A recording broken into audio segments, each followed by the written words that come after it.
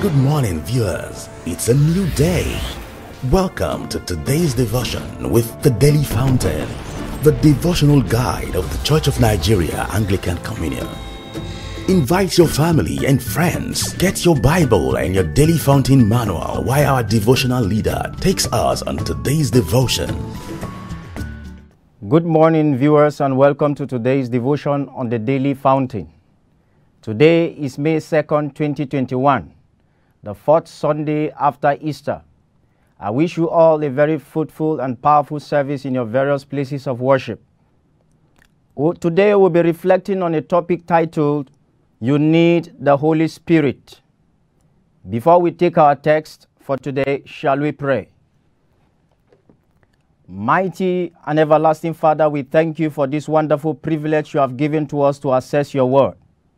It is written, The entrance of your word giveth light and understanding to the meek and to the simple. Father, we ask you to give us understanding from your word in the name of Jesus. Shine your light into our hearts in the name of Jesus. In Jesus' victorious name we pray. We'll be taking our text from the book of John, chapter 16. I'll commence reading from verse 5. John chapter 16, verse 5. But now I am going to him who sent me. None of you ask me, Where are you going? Rather, you are filled with grief because I have said these things. But very truly I tell you, it is for your good that I am going away. Unless I go away, the advocate will not come to you. But if I go, I will send him to you. When he comes, he will prove the world to be in the wrong about sin and righteousness and judgment. About sin, because people do not believe in me. About righteousness, because I am going to the Father, where you can see me no longer. And about judgment, because the prince of this world now stands condemned. I have much more to say to you, more than you can bear now. But when he, the Spirit of truth, comes, he will guide you into all the truth. He will not speak on his own. He will speak only what he hears, and he will tell you what is yet to come. He will glorify me because it is from me that he will receive what he will make known to you. All that belongs to the Father is mine. That is why I said the Spirit will receive from me what he will make known to you. Jesus went on to say, In a little while you will see me no more, and then after a little while you will see me. At, at this, some of his disciples said to one another, What does he mean by saying, In a little while you will see me no more, and then after a little while you will see me? And because I'm going to the Father, they kept asking, What does he mean by a little while? We don't understand what he's saying. Jesus saw that they wanted to ask him about this. So he said to them, Are you asking one another what I meant when I said, In a little while you will see me no more, and then after a little while you will see me? Very truly I tell you, you will weep and mourn while the world rejoices. You will grieve, but your grief will turn to joy. A woman giving birth to a child has pain because her time has come. But when her baby is born, she forgets the anguish because of her joy that a child is born into the world. So with you now is your turn of grief. But I will see you again, and you will rejoice, and no one will take away your joy. This is the word of God, and thanks be to God. Like I earlier said, our topic for today is you need the Holy Spirit. In the liturgy of the church, we frequently hear words in the name of God the Father and of the Son and of the Holy Spirit. This expression is a Trinitarian formula that ascribes deity to all the three persons in the Godhead. Likewise, we sing the Gloria. Glory be to the Father, and to the Son, and to the Holy Spirit. Who then is the Holy Spirit? Based on how the Holy Spirit manifested to the believers in the early church, there has been a gross misrepresentation of the Holy Spirit. Some group of believers believe that the Holy Spirit is a wind, while some believe that Holy, the Holy Spirit is a dove, while others believe that the Holy Spirit is fire. Child of God, I want to let you know this morning to understand that the Holy Spirit is not a dove. The Holy Spirit is not fire. The Holy Spirit is not a wing. The Holy Spirit is a personality. The Holy Spirit is the third person in the Godhead. If you read your Bible in the book of Acts of Apostles, chapter 13, verse 2, the scripture speaking, when the apostles prayed and fasted, the Bible said that the Spirit of God, the Holy Spirit said to them, Separate ye me, Paul, Saul, and Barnabas. The Holy Spirit is not an inanimate essence. The Holy Spirit is not a walking force. Otherwise, he wouldn't have voiced out instruction and instruction to the apostles to separate Saul and Barnabas. The Holy Spirit, child of God, is not a working force. The Holy Spirit is not an object. The Holy Spirit is a personality. The Holy Spirit is the third person in the Godhead.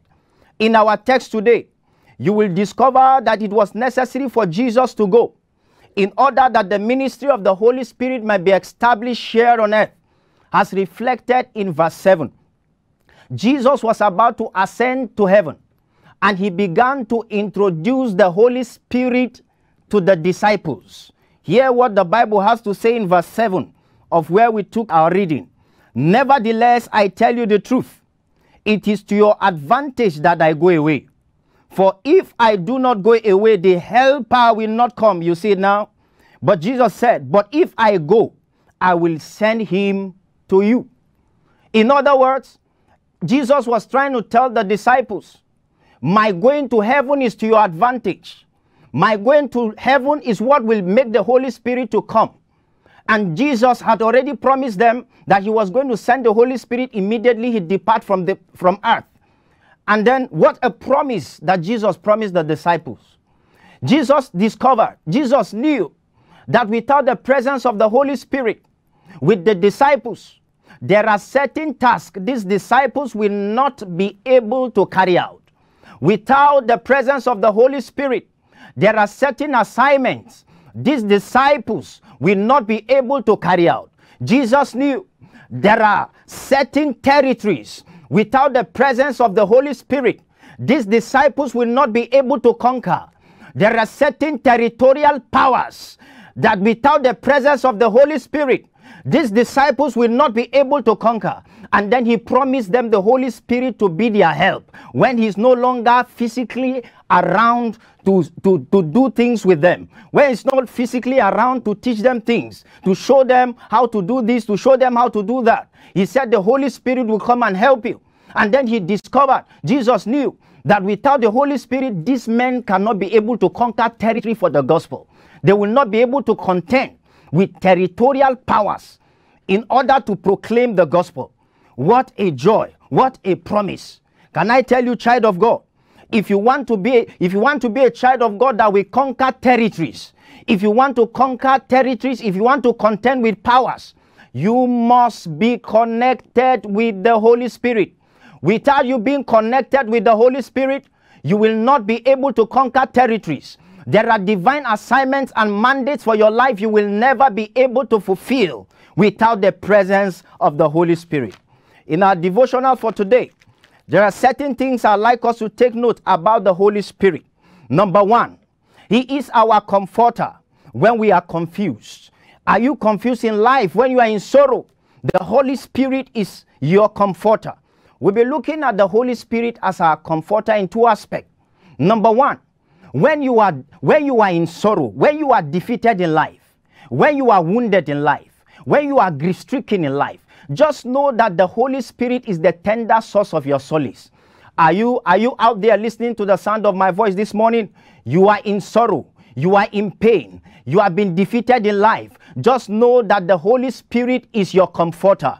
The second thing I'd like us to note here about the Holy Spirit as the comforter is that the word comforter in its Latin derivation means with strength. It means with strength. What does that tell you, child of God? The Spirit comes to us when we are in need of strength. When you are weak in your prayer life and the Spirit of God comes to you with strength, you will begin to pray like never before.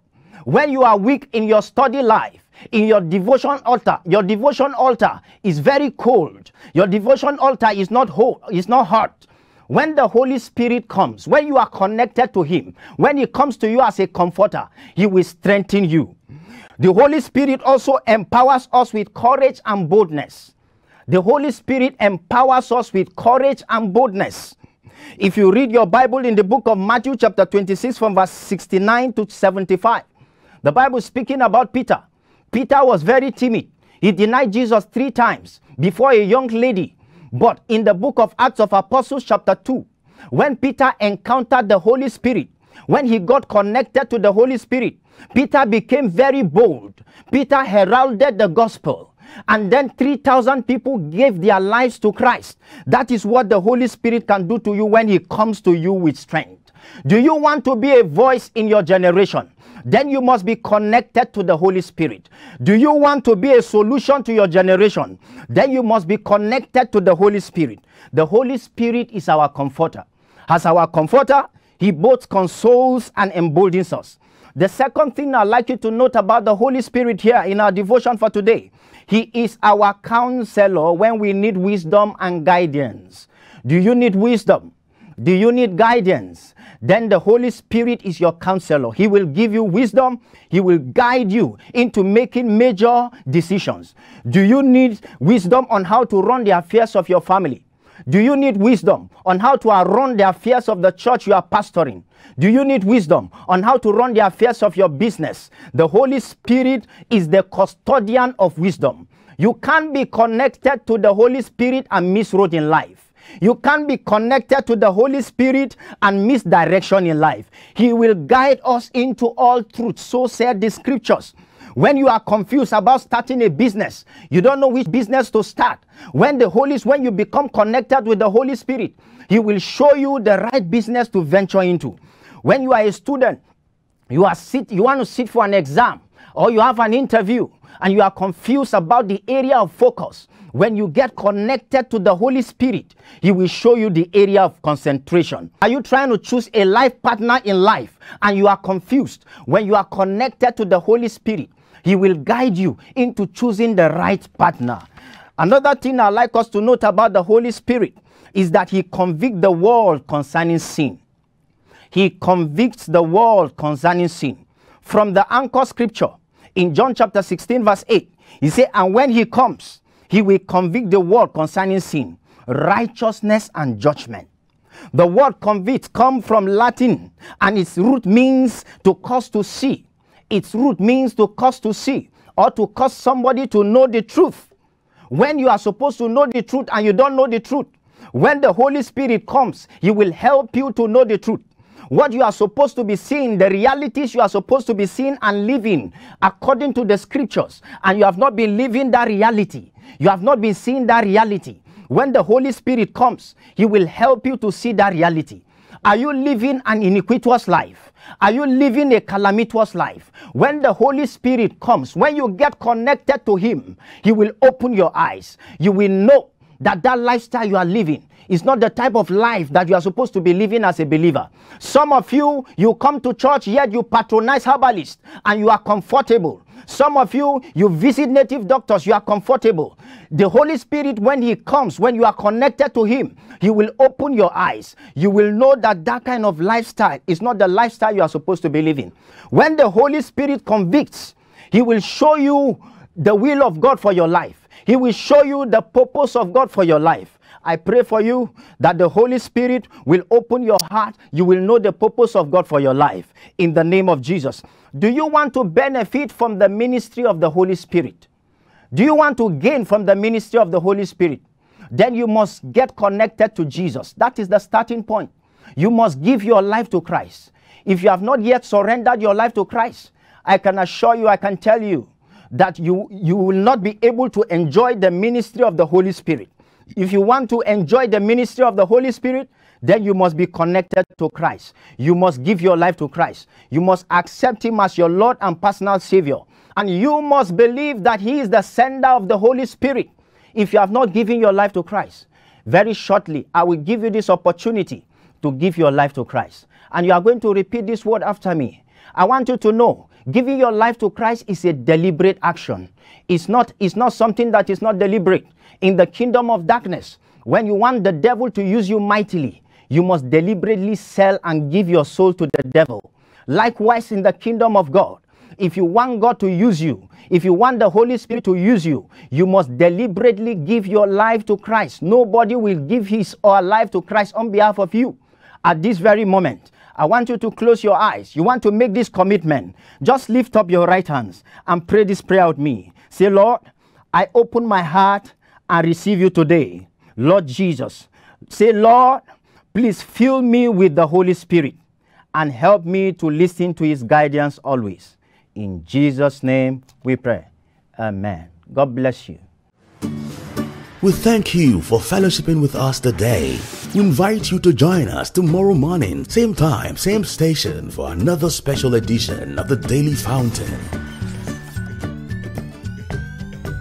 If you are led to sponsor or support this program, please contact the numbers and email all showing on your screen.